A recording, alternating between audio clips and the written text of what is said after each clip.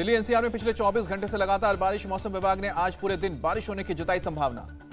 मौसम विभाग ने दिल्ली एनसीआर में बारिश का येलो अलर्ट किया। जारी नोएडा और गाजियाबाद सहित यूपी के 11 जिलों में आठवीं तक स्कूल बंद रखने का आदेश जारी। दिल्ली से सटे हरियाणा के गुरुग्राम में भारी बारिश से कई इलाकों में पानी भरा। दिल्ली गुरुग्राम एक्सप्रेसवे पर 15 किलोमीटर लंबा जाम लगा। गुरुवार की शाम सैकड़ों गाड़ियाँ रिंग रिंग कर चलती दिखी। दफ्तर से लौट रहे लोग पानी में कमर से ज़्यादा डूबे हुए नज़र आए। गुरुग्राम में भारी बरसात और ट्रैफ़िक जाम को देखते हुए डिजास्टर मैनेजमेंट की एडवाइजरी आज कॉर्पोरेट ऑफ़िस और सभी निजी स्कूल कॉलेजों में छुट्टी दी गई। भारी बारिश की वजह से नोएडा के सेक्टर चौदह ए इलाके में लगा लंबा ट्रैफ़िक जाम घंटों फंसे रहे लोग। गाजियाबाद में आज कक्षा एक से लेकर आठ तक के सभी स्कूल बंद रहेंगे। भारी बारिश को देखते हुए फैसला। यूपी के फिरोजाबाद में भी भारी बारिश से लोग हुए बेहाल सड़कों और नालों में भरा पानी कई गाड़ियाँ डूबी।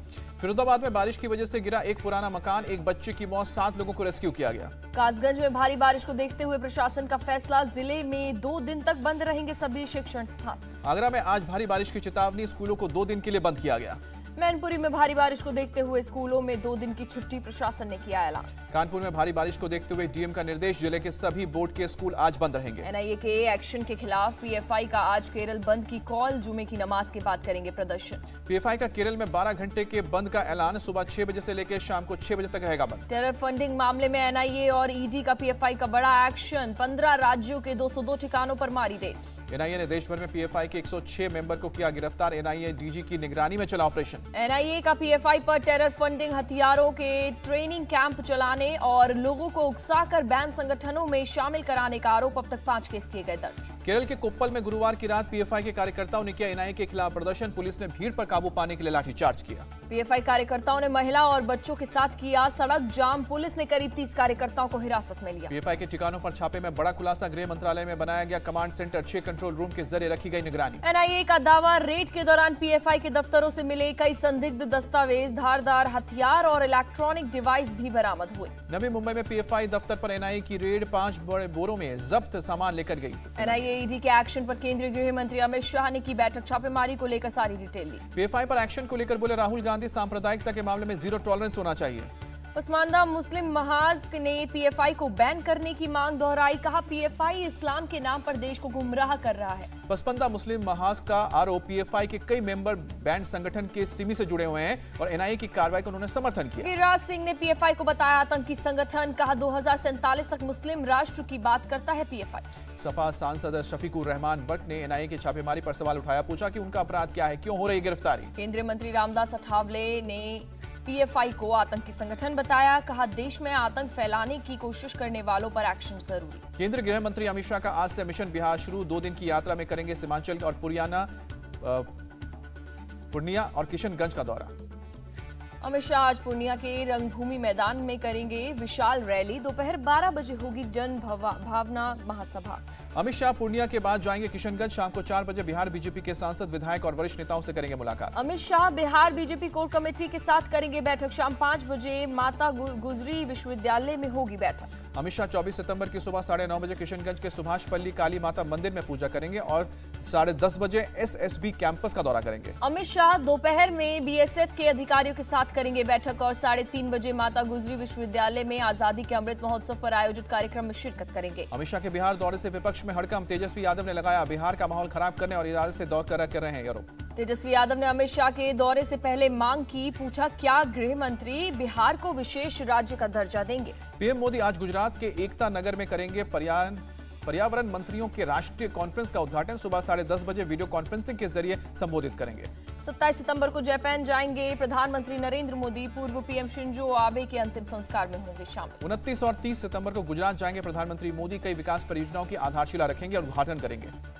पीएम मोदी 30 सितंबर को अहमदाबाद को देंगे मेट्रो रेल की सौगात। गांधीनगर रेलवे स्टेशन पर वंदे भारत एक्सप्रेस का उद्घाटन करेंगे। यूएन सुरक्षा परिषद में जयशंकर ने लगाई चीन की क्लास कहा कि जब दुनिया के सबसे खतरनाक आतंकवादियों पर बैन की बात आती है तो कुछ देश दंड मुक्ति का सुरक्षा कवच देते हैं। एस जयशंकर ने यह युद्ध का युग नहीं का बयान दोहराया कहा राजनीति को कभी भी जवाबदेही से बचने के लिए कवर प्रदान नहीं करना चाहिए। अशोक गहलोत कांग्रेस अध्यक्ष पद जीतने के बाद छोड़ सकते हैं सीएम का बस सूत्रों के हवाले से खबर।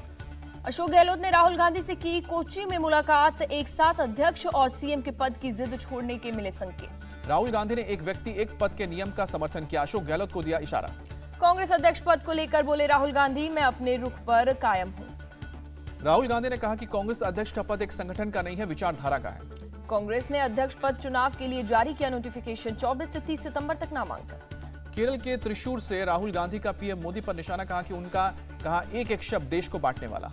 ऑल इंडिया इमाम ऑर्गेनाइजेशन के इमाम उमर अहमद इलियासी से मिले आरएसएस चीफ मोहन भागवत। दोनों में घंटों भर बातचीत हुई। इमाम इलियासी ने मोहन भागवत को बताया, राष्ट्रपिता कहा कि हमारा पूजा करने का तरीका अलग, पर डीएनए एक। शिवाजी पार्क में दशहरा रैली को लेकर बीएमसी का उद्धव और शिंदे दोनों गुट को झटका किसी को नहीं मिली परमिशन 24 सितंबर को जनाक्रोश आंदोलन को लीड करेंगे Aditya Thackeray Vedanta Foxconn semiconductor plant को गुजरात शिफ्ट करने का करेंगे विरोध। 25 सितंबर को आईएनएलडी की रैली में शामिल होंगे शरद पवार और नीतीश कुमार तेजस्वी यादव और उद्धव ठाकरे भी करेंगे शिरकत। कानपुर में पिटबुल ब्रीड के कुत्ते ने गाय पर किया हमला बुरी तरह से घायल किया। खबर सामने आने के बाद जिला प्रशासन ने मामले को लिया संज्ञान। चीफ वेटनरी ऑफिसर को मौके पर भेजा। वैशाली के लालगंज में एक स्कूल के कमरे को शराब माफिया गोताम के तौर पर इस्तेमाल कर रहा था। स्टोर रूम में लगे ताले को तोड़कर दूसरा ताला तक लगाया। बिहार के मुजफ्फरपुर में पुलिस ने कचरे लदे एक ट्रक से विदेशी शराब की खेप को किया जब्त। ट्रक के तहखाने में छुपा कर रखा शराब।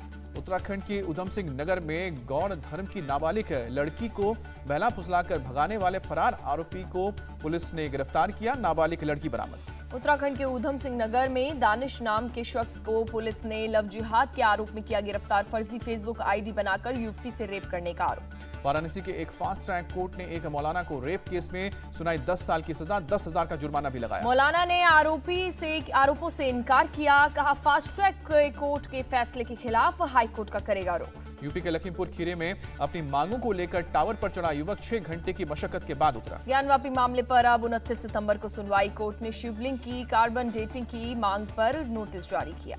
कर्नाटक हिजाब विवाद पर सुप्रीम कोर्ट में फैसला सुरक्षित रखा गया। दस दिन तक चली सुप्रीम कोर्ट में सुनवाई। सत्येंद्र जैन से जुड़ी ईडी की याचिका पर अदालत ने फैसला सुरक्षित रखा। ईडी ने जमानत याचिका दूसरी अदालत में ट्रांसफ़र करने की मांग की। उमेश कोले की हत्या के मामले में आरोपी श्याम अहमद को एक अक्टूबर तक एनआईए की हिरासत में भेजा गया। चित्तौड़गढ़ विस्फोटक बरामदगी मामले में एनआईए ने 11 आरोपियों के खिलाफ चार्जशीट दाखिल की। दिल्ली के एलजी ने गेस्ट टीचर्स के मामले में आंतरिक जाँच के आदेश दिए हैं। बद्रीनाथ केदारनाथ धाम को लेकर पीएम मोदी ने की समीक्षा बैठक पुनर्निर्माण कार्य को लिया जायजा। यूक्रेन का दावा रूस ने जापोर्जिया के रिहायशी इलाके पर किया मिसाइल अटैक एक नागरिक की मौत पाँच घायल। जापोर्जिया के रिहायशी इलाके पर गिरी नौ रूसी मिसाइल कई मकान तबाह। रूसी विदेश मंत्री सरगई लावारोव का सुरक्षा परिषद पर बड़ा बयान। यूक्रेन युद्ध को बताया पश्चिमी देश बनाम रूस की लड़ाई। अमेरिका के विदेश मंत्री एंटनी ब्लिंकन ने सुरक्षा परिषद में युद्ध को बताया यूक्रेन की मजबूरी। कहा रूस से नहीं लड़ेगा तो खत्म हो जाएगा यूक्रेन। ब्रिटेन के प्रिंस विलियम और उनकी पत्नी केट ने की वॉलंटियर्स और स्टाफ से मुलाकात। क्वीन एलिजाबेथ के फ्यूनरल को पूरा करने के लिए जताया आभार। ईरान में प्रदर्शनकारियों और सुरक्षा बलों के बीच संघर्ष। जारी सुरक्षा बलों की कार्रवाई में अब तक इकतीस लोगों की मौत। डब्ल्यूटीओ में भारत ने चावल और गेहूँ के निर्यात पर पाबंदी का बचाव किया, पाबंदी को बताया अस्थायी नए टेलीकॉम बिल का ड्राफ्ट पेश इंटरनेट आधारित सेवाओं को रेगुलेट करने का फोकस आरबीआई ने लक्ष्मी कोऑपरेटिव बैंक का लाइसेंस रद्द किया जमाकर्ता पाँच लाख रुपए की राशि का कर सकते हैं दावा। आरबीआई ने बैंक में पूंजी की कमी और आमदनी की संभावना नहीं होने का दिया हवाला निन्यानवे फ़ीसदी ऐसी ज़्यादा ग्राहकों को पूरा पैसा वापस मिलने का दिया भरोसा। भारत और ऑस्ट्रेलिया के बीच दूसरा टी आज नागपुर में शाम सात बजे ऐसी शुरू होगा। सीरीज़ में एक शून्य से आगे है ऑस्ट्रेलिया सीरीज़ बचाने के लिए भारत को जीत ज़रूरी। भारत के तेज गेंदबाज जसप्रीत बुमराह चोट के बाद हुए फिट दूसरे टी में कर सकते हैं वापसी। भारत के तेज गेंदबाज मोहम्मद शमी कोरोना से अब तक फिट नहीं शरीर में तेज दर्द बरकरार अब सोमवार को होगा corona test. Home away format में होगा आईपीएल 2023 एक मैच घर में और दूसरा विरोधी टीम के ग्राउंड में खेले जाएँगे। बीसीसीआई अध्यक्ष सौरभ गांगुली ने जानकारी दी। बीसीसीआई के मुताबिक विमेन्स आईपीएल की हो रही है तैयारी। फरवरी मार्च में शुरू होगा महिला आईपीएल पाकिस्तान ने दूसरे टी में इंग्लैंड से लिया बदला। इंग्लैंड को दस विकेट से शिकस्त दी। इंग्लैंड को मिली दो वर्ल्ड टेस्ट चैंपियनशिप के फाइनल की मेजबानी। 2023 का फाइनल द ओवर में होगा और लॉर्ड्स में होगा 2025 का फाइनल। पूर्व पाकिस्तानी क्रिकेटर शाहिद अफरीदी ने 17 साल बाद मानी गलती। इंग्लैंड के खिलाफ 2005 में फैसलाबाद टेस्ट में पिच से की थी छेड़छाड़। सुप्रीम कोर्ट ने इंडियन ओलंपिक एसोसिएशन के चुनाव को लेकर दिए निर्देश। जस्टिस एल नागेश्वर राव को दी ज़िम्मेदारी दिसंबर 2022 तक कराए चुनाव। टेनिस स्टार रॉजर फेडर ने तय किया नया लक्ष्य। संन्यास के बाद शुरू होगी कोचिंग। स्विट्जरलैंड से नए टेनिस स्टार की खोज करेंगे। माधुरी दीक्षित का दावा नब्बे के दशक की हीरोइन जीवन में आगे बढ़ गई। हीरो को आज भी नाच गाने की ज़रूरत। माधुरी दीक्षित की फ़िल्म मज़ा माँ का ट्रेलर लॉन्च हुआ। रंगीला मारा नाच की धुन पर नाची माधुरी। 6 अक्टूबर को रिलीज़ होगी फ़िल्म। ब्रह्मास्त्र के सीक्वल पर बोले निर्देशक अयान मुखर्जी। कहा पार्ट टू में देव का नाटकीय संघर्ष काफ़ी डार्क और दिलचस्प होने वाला है। कमल हसन ने फ़िल्म इंडियन टू के बचे हिस्से को शूटिंग करने की शुरुआत की।